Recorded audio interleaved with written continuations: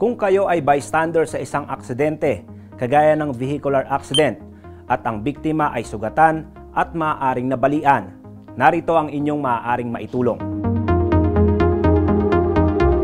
Tumawag agad ng Emergency Medical Services, kagaya ng 911 UNTV. Ibigay ang mga impormasyong kailangan ng emergency dispatcher, kagaya ng eksaktong lugar, uri ng insidente, ilan ang involved at pinsala ng biktima. Kung may first aid na nailapat na at kung ano ang equipment na ginamit. Kung nakahanda kayong tumulong directly sa biktima, ito ang mga dapat ninyong gawin.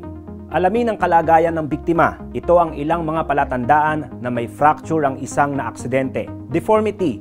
Maaari ninyong maobserbahan na naiba na ang karaniwang itsura ng bahagi ng katawan. Halimbawa ang braso. Maaaring ikumpara ang isang braso sa isa pang braso upang makita kung may pagbabago sa hugis at itsura. Swelling at bruising. Maaaring mayroon ding pamamaga at pasa sa suspected fracture site. Extreme pain.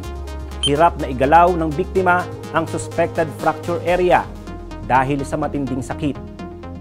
Wound. Maaaring may sugat at lumabas na sa balat ang nabaling buto. Ito ang tinatawag na open fracture.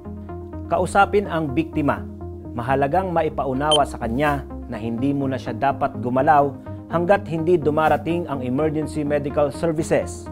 Suportahan o hawakan ang joints na nakapaligid sa suspected fracture area. Napakahalaga ng immobilization sa tiyempong ito upang hindi madagdagan ang injury ng pasyente.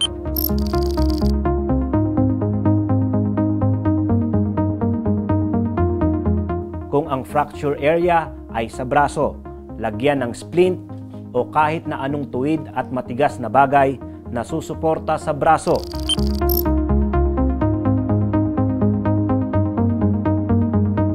At gamit ang malinis na tela, lagyan ng tali ang magkabilang bahagi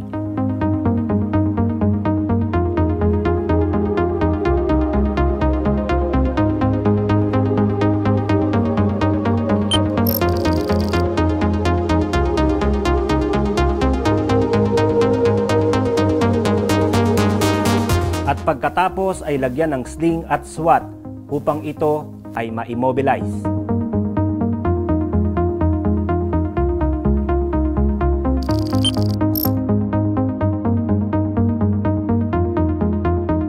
Kung sa binti naman, maaaring idikit ang binti na hindi injured at gamit ang malinis na tela, talian ito sa mga joint upang ma-immobilize ang injured leg.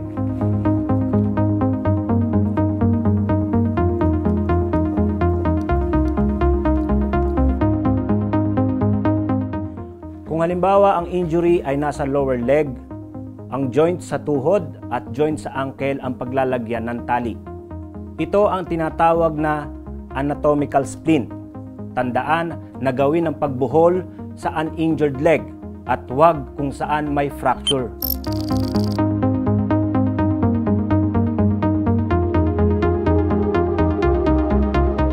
Napakahalagang huwag munang galawin ang biktima, lalo na kung hindi pa secure ang nabaling bahagi ng katawan.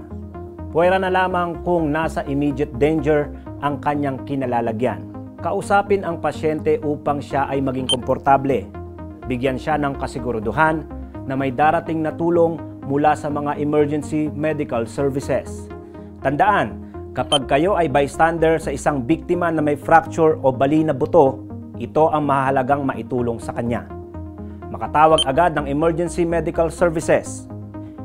Immobilization, mahalagang huwag igalaw ang bahagi ng katawan na maaaring may fracture.